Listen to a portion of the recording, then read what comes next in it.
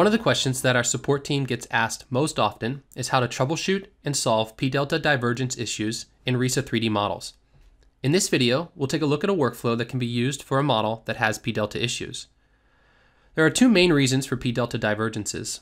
One is that the model is simply unstable.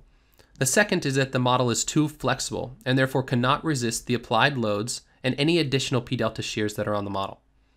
So let's take a quick dive into a few different ways that we can use to investigate and solve p-delta divergences in RISA 3D. So we have this first model here. I'm going to go ahead and just turn on our shapes so we can see them. So we have some wide flange columns and wide flange beams. You'll notice that the boundary conditions in this case are all pinned. And additionally, in the X direction, all the beams are hinged. And so I'm going to go ahead and open up the load combination spreadsheet. And we'll see here that we have four load combinations, all which have p delta enabled on their combination. And so with that done, I can go ahead and solve the batch in the envelope. Now the solution's interrupted and we get an error message telling us that there's p delta divergence at node N4 and load combination 1, and that the model may be unstable.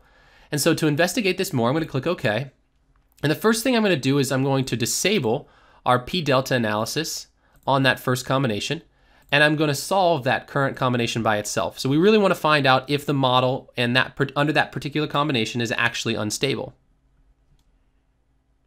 So when the combination finishes running, we do get this unstable model warning, basically that instabilities were detected in the model.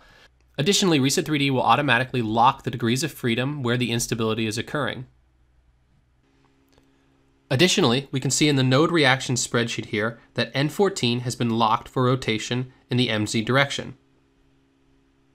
And so if I click yes, we can also see this graphically, so it's going to show us and highlight us node N14 as the issue.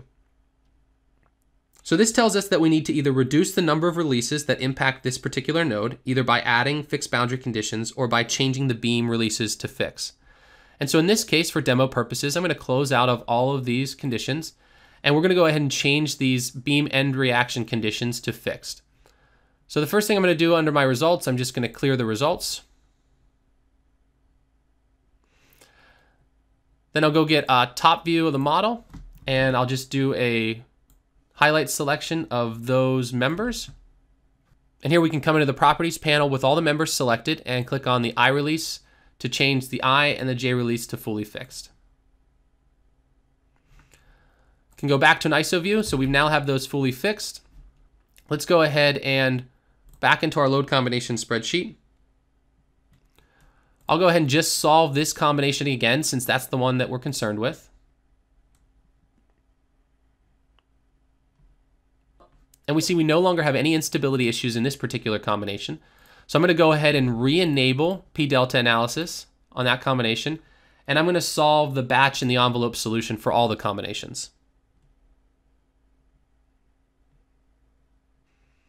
So once we see the completed solution, we know that we no longer have any p-delta divergence issues in this particular model. So let's take a look at a second model in order to evaluate other options for solving p-delta divergence issues. So this model has moment frames in both directions, so we know that the structure is stable. However, when we solve the batch and envelope solution, we get a p-delta divergence in load combination 2. So we get our error message telling us again that we have a p-delta divergence at N22 in load combination 2. And so if we click OK, we first want to check, just like we did in the last example, that our model is stable. So I'm going to go into load combinations. And for load combination 2, I'm going to go ahead and disable p delta just like we did last time. And I'm going to go ahead and solve that individual combination now.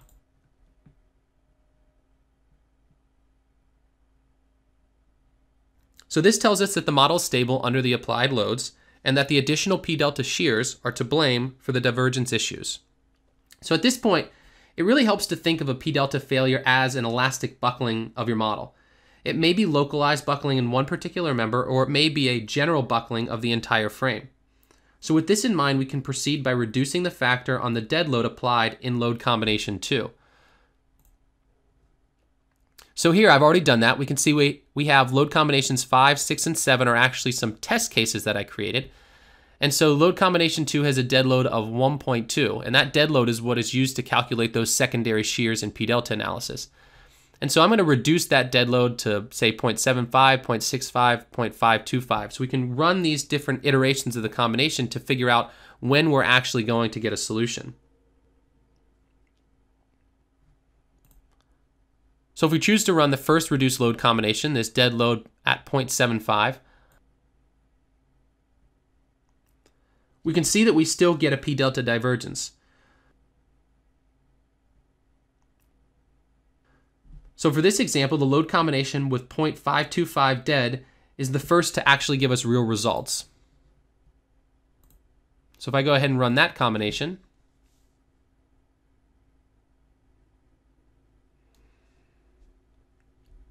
However, if we go ahead and look at, for instance, maybe the deflected shape of the structure, we can see that we have some really huge deflections on the model. And if we want to go ahead and look at the magnitude of these, we can open up the node deflection spreadsheet and see that in our z direction, for instance, we'll go ahead and do a sort by absolute max and min. You can see that we have something like 109 inches of deflection. So obviously entirely too much deflection for this small little frame. So this tells us that we need to add stiffness or restraint to the model in the z direction. And so the quickest way to do this is to add or change some of the boundary conditions to fixed.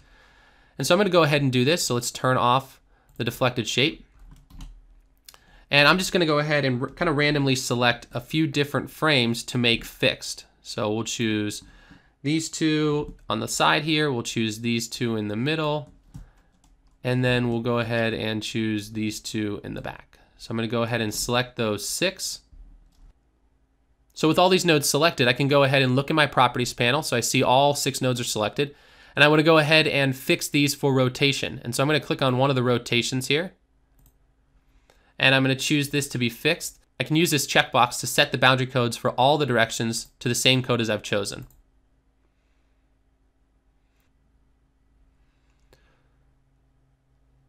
So now with those fixed conditions, I'm going to go back to the Home tab and back to our load combination spreadsheet.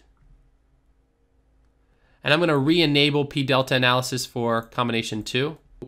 We can then resolve the model using load combination 2 with the full dead load to see that the structure is no longer unstable and that the joint deflections are reasonable. To confirm, we can enable the deflected shape, as well as open the node deflection spreadsheet and sort to show the maximum deflections.